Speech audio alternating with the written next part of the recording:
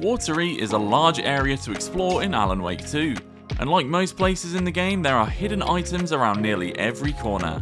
Like Bright Falls and Cauldron Lake, the Cult of the Tree have hidden several locked caches through the town. By finding them and solving the puzzles required to open them, you can ensure that you have plenty of gear for when the taken attack. If you're running around in circles trying to find a missing stash, or if the cultist clues aren't clicking, never fear, we've got all the locations and answers right here.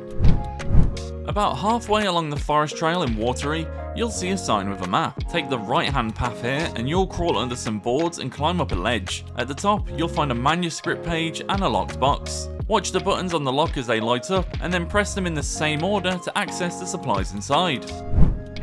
The hunting lodge on this trail contains a break room that you can activate by using the generator outside. Once you've saved, look for a large lockbox just outside the shack to the left. The lock requires a 3 digit combination, so take a look at the archery targets to your right.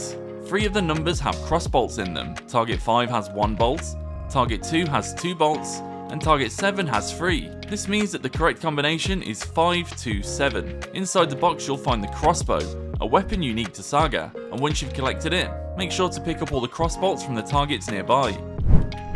As you first enter the Coffee World theme park, go to your left and look by the Ferris wheel. There's another cult stash here, and this one has an arrow indicating a clockwise rotation and the words only striped cups. The carts on the Ferris wheel are shaped like coffee cups, with numbers on the side. Cars 1, 4 and 7 are striped, and appear in numerical order when counted clockwise on the wheel. So use the code 147 to open the stash and collect the supplies inside. In the Coffee World theme park, Travel west to the entrance to the Knight's Motorcycle Workshop. Behind the well, you'll find a small clearing with a cult stash. The key to this chest is hidden behind the giant coffee mascot near the park's southern exit. Approach the statue from the rear left, and look carefully at the ground when you're standing by its arm. When you open this stash, be sure to collect the note inside the lid, as it's a piece of evidence for your investigation. Before you can get this next stash, you'll need to go into the overlap and complete the boss fight there.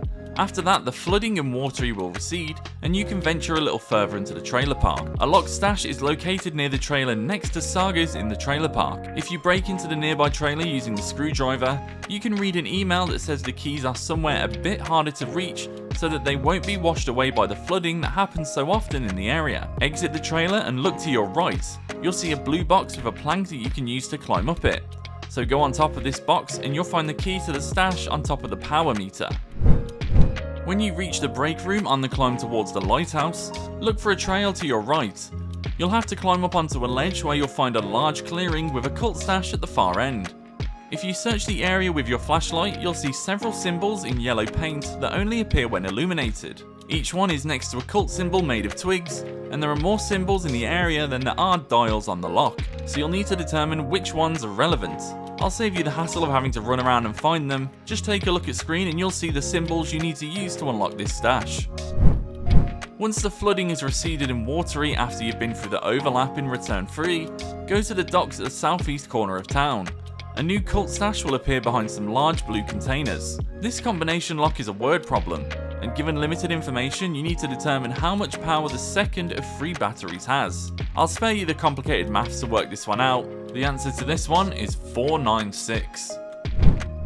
Moving on to the last stash you can find in Watery, you'll first need to acquire the bolt cutters, which you'll pick up later in the story. Once you've got them, return to Watery and use them to break into the fenced off area at the Kalevala Knights workshop, which is found on the western side of the map. You'll have passed through here during the story earlier on. The final cult stash in this region is against the back of the building, but be alert as you approach the stash, as a pair of mirror taken will spawn to your right, and a darkness barrier will block your escape. You can hide in the light to your left if you need to recover. The note on the stash itself has drawings of the rides from Coffee World. If you look around the yard and count the number of cars for each ride, then you can find your answer. There are 5 for the Slow Roaster, 4 for the Espresso Express, and 2 for Latte Lagoon. This means that the answer to open the stash is 542.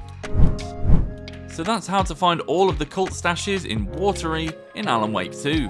I've been Luke Gould, thanks for watching, and check out thegamer.com for more.